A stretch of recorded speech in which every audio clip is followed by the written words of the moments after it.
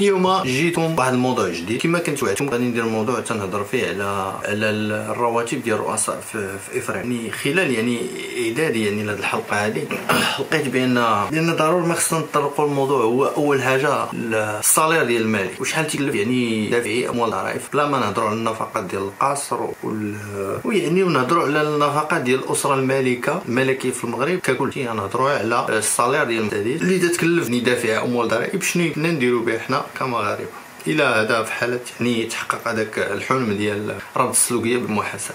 المهم غادي نبداو. الملك فاش جا في 1999 كان كان لقب راسو بملك الفقراء. يكسب حوالي حاليا ما يزيد 68 مرة ما يزيد عن المواطن المغربي العادي. ويتقاضى يعني الراتب ديالو السنوي اللي هو 4.6 مليون ديال الدرهم ما يعادل 416 ألف دولار أمريكية.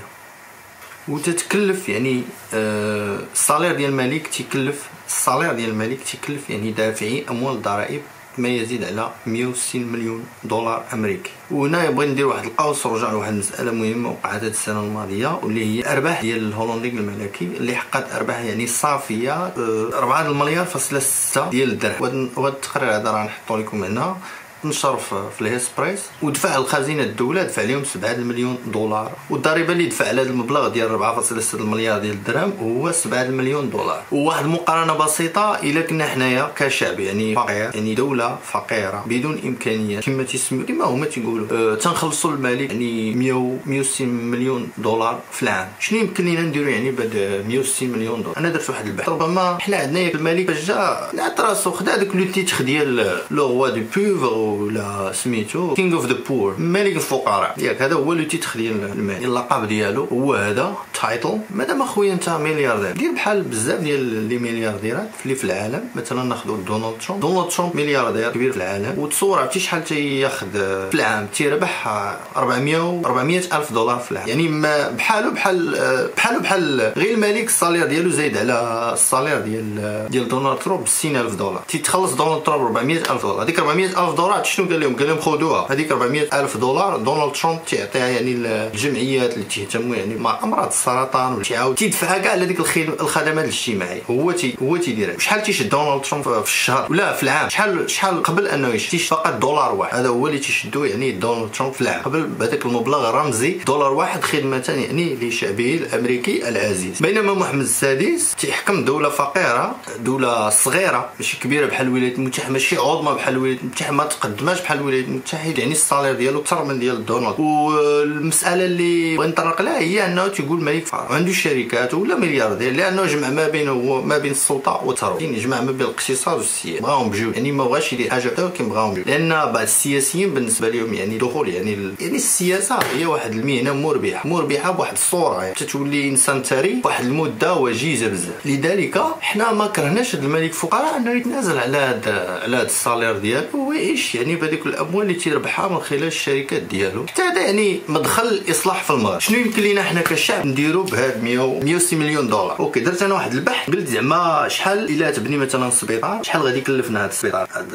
إلا تبني سبيطار شحال يكلف؟ يعني التكلفة ديال بناء مستشفى. لقيت بأن مستشفى ب 500 ب 500 سرير مجهز يعني بجميع المعدات. كل غرفة فيه مجهزة بجميع المعدات يعني الحديثة وتحتوي على 500 سرير كلهم يعني مجهزين يعني 500 سرير مجهز الطاقم ديالو كلشي. حوالي غادي يكلفنا 800 مليون دولار. وديك 800 مليون دولار أنا درت لها القسمة قسمتها على خمسة تعطيني 160 مليون دولار. بلاص 160 مليون دولار تقد تبني لنا مستشفى 100 سرير مجهز لجميع المرضى تصوروا معايا حيت لا شديت 500 سرير 500 سرير قسمتها على خمسة غادي تعطيني 100 و100 160 مليون دولار غادي نبنيو بها يعني مستشفى مجهز ب 100 سرير مستشفى أنا نوريكم الصورة ديال المستشفى هنايا. باش تشوفوا يعني أي نوع ديال المستشفى. مستشفى كبير ماشي مستشفى صغير. تصوروا معايا كل سنة دابا هو حكم 20 عام يعني كان بإمكاننا كل سنة نبنيو تقريبا 20 20 سبيطار. كل مدينة ولا في كل قرى. نديرهم حنايا القرى البعيدة والناس اللي تتموت مثلا طلاس ولا في الجنوب ولا يعني هاد الناس اللي تعيشوا في في القرى يعني النائية. كون بنينا لهم سبيطار في المستوى ونديروا حنايا يعني مبلغ رمزي رمزي للناس اللي عندهم يدفعوا. اللي ما عندوش يدخل يداو فابور واللي عنده حسب يعني القدرة ديالو. يدفع يعني حسب القدرة ديالو. نديروا مبلغ مثلا رمزي ديال 50 درهم.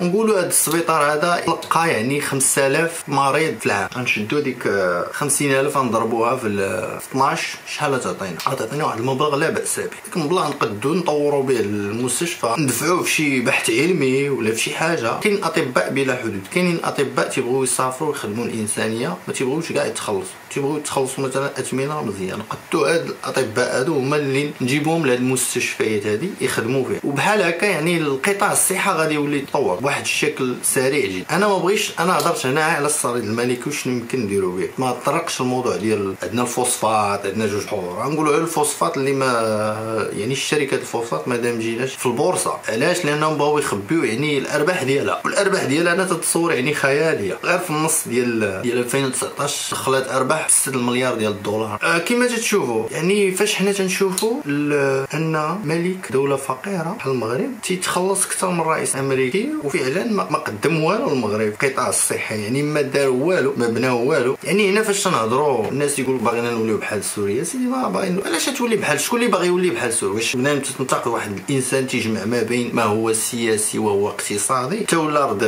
بناء إمبراطورية اقتصادية في هذيك البلاد ورد شعبه يعني رد الشعب ديالو الزبائن هنا فاش تنهضروا على أن ضروري فصل الثروه السلطي اللي بغيتي أخي الملك السياسة هو سير دخل انت انتخابات ودير حزب سياسي وبدا. ما يمكنش ما يمكنش نبقاو في واحد الملكية مطلقة تجمع ما بين السلطة والثروه وبغينا البلاد تقدم. راه ما غاديش تقدم وغادي تبقى يعني اللور رواندا اللي اللي عاش يعني الحرب. ندخل هنا نهضر على رواندا. رواندا اللي عاشت الحرب الأهلية في 1994 وتم يعني قتل من من مليون ديال البشر. وجوج المليون ديال البشر هربوا تدمرات يعني اقتصاديا واجتماعيا يعني طاحت دوله رواندا. دابا رواندا راه راه دارت واحد المصالحة يعني سياسية. شحال هذه من بعد أن من بعد هذيك الحرب اللي استمرت في 1994 100 يوم تقريبا واللي مشى فيها الضحايا. بالملايين. دابا راه ولاو تيطلقوا عليها اسم سنغافورة سنغافورة ديال إفريقيا. دي نيو سنغافور تيسميو رواندا. يعني رواندا تيطلقوا عليها اسم سنغافور الجديدة. الدولة هذه اللي عاشت يعني هذه الحرب